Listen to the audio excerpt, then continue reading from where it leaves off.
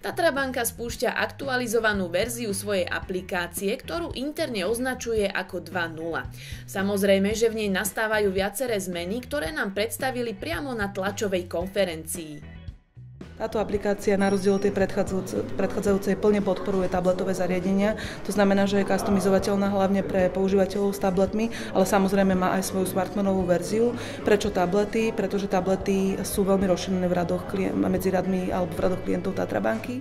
Aplikácia je v novom dizajne, ktorý je navrhnutý tak, aby pomáhal v jednoduchšej navigácii a orientácii po aplikácii.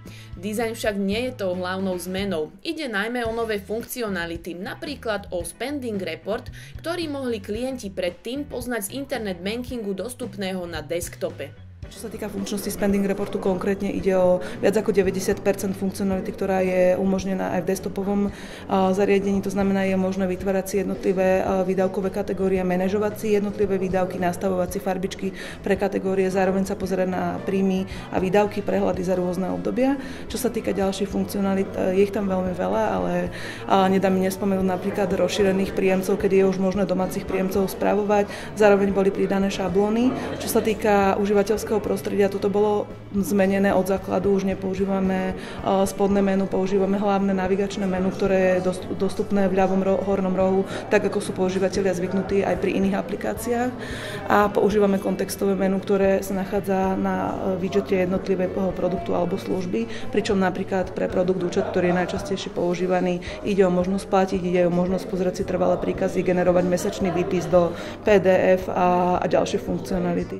Vylepšené a veľkou zmenou prišli pre pobočky a bankomaty, kedy ide o prenesenie nejakých hybridných pobočiek a bankomatov, ktoré nám spôsobovali v minulosti problémy do natívneho prostredia, čiže teraz sú plne natívne a fungujú 100%. Vylepšený bol aj kurzový lístok a bolo pridaných mnoho drobnejších funkcionalít na základe požiadaviek klientov k jednotlivým produktom.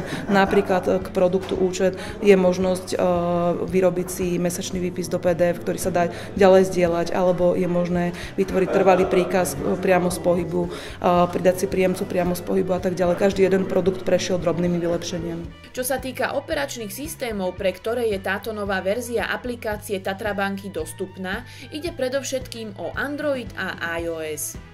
Prečo sú to tieto dva? Je samozrejme asi preto, že najviac klientov Tatrabanky disponuje práve zariadeniami s týmito operačnými systémami. Neznamená to, že Tatrabanka neponúka aplikácie klientom s inými operačnými systémami. Stále beží aplikácia 1.9, ktorá je dostupná pre BlackBerry 10 a Tatrabanka, ktorá je dostupná pre Windows Phone. Čo sa týka požiadaviek, ide o Android 2.3 a vyššie.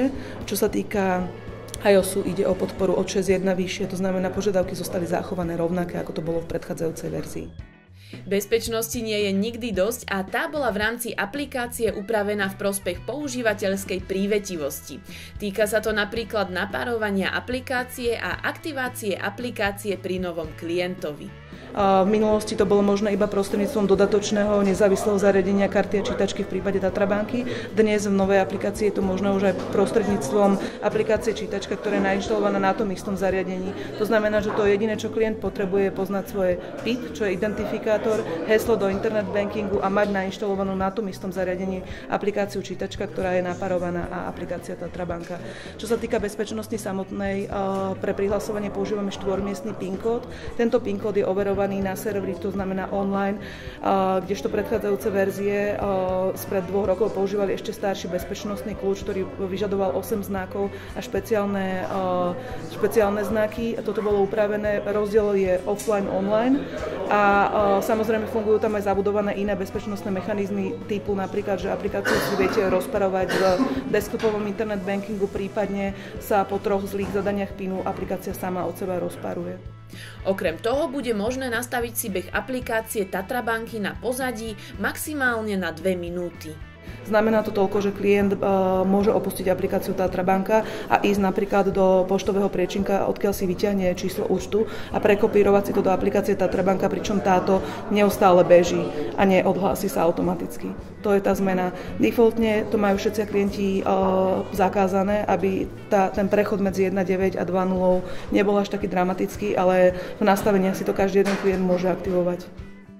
To, na čo sme hlavne vsadili, je ten užívateľský komfort, kde sme sa snažili odlišiť sa, posunúť tú, tú aplikáciu k modernému interfejsu a k modernému používateľskému uh, prostrediu pre klientov Tatra banky. Čo sa týka funkcionalít ako takých, na Slovensku každá jedna banka ponúka nejakú formu aplikácie, či už natívnej alebo nejakej inej a je to iba otázka času, kedy sa tieto doťahujú. To, čím je Tatra banka naozaj iná, sú práve tie inovatívne perličky typu výber z bankomatu alebo NFC zostatok, ktorý je možný na Androidích zariadeniach, to znamená priložením karty o NFC zariadenie je možné vyťahnuť zostatok a posledných 10 pohybov. Toto žiadna iná banka podľa mojich informácií na Slovensku určite nemá.